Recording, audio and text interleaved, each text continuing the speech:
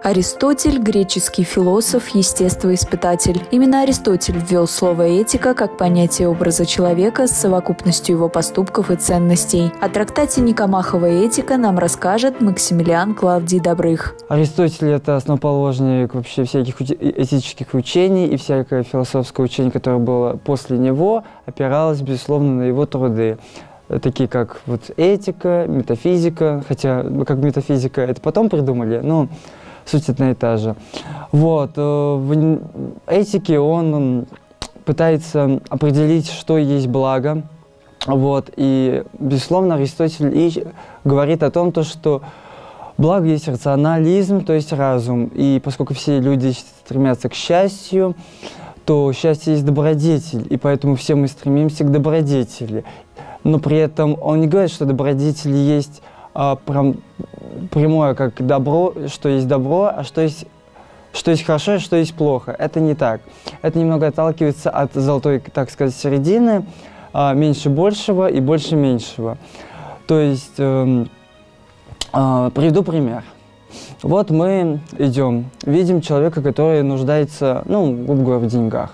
Мы ему даем эти деньги – но это не является добродетелью только по той причине, что человек ну, чувствует себя чем-то обязанным. Вот. А мы чувствуем себя выше его, то, что мы ему помогли. Так вот, а добродетель – это тот момент, когда ты помогаешь человеку на, на, на неосознанном уровне, что человек как бы и не чувствует себя обязан тебе, и ты не чувствуешь, что, что он тебе обязанный.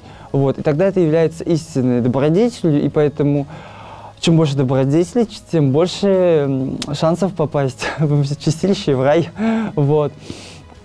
Безусловно, в этике обсуждается не только добродетели, но также отношения э, между людьми, дружба, э, взаимоотношения в политике, в экономике определенно, потому что есть определенные сферы, которые как бы всегда затрагивают человеческие взаимоотношения. Как общаться с людьми, как не ранить их чувства и как люди могут неосознанно, думая, что они правы, а, быть обиженным на человека, который думает то, что он прав. Но загадка и раскрытие этой загадки стоит в том, то, что каждый человек прав по-своему, но истина одна. И чтобы э, понять эту истину, ну, грубо говоря, вот эта книга – это есть истина. Вот вы смотрите на эту сторону, это ваша правда. Я смотрю на эту сторону, это моя правда. Мы оба правы, потому что мы просто не видим э, противоположную сторону. Но если мы посмотрим полностью, это будет истина. И таким образом Аристотель ищет э, в своих в своем учении именно по этике, что нужно посмотреть под нескольким ракурсом. Очень люблю приводить пример с религией. Бог один – но именно много конфессий не из-за того, чтобы мы много ссорились, а из-за того, чтобы мы под разным углом каждой конфессии посмотрели. Философские книги, они же тем хороши, то, что это как, это как Библия. Ты вот прочитал фразу, потом перечитал, и смысл совершенно другой. Еще раз перечитал, и смысл другой. То есть смысл вкладывается с каждым разом по-разному, потому что ну, ситуации жизненно меняются. Ведь жизнь нас учит, жизнь хороший учитель.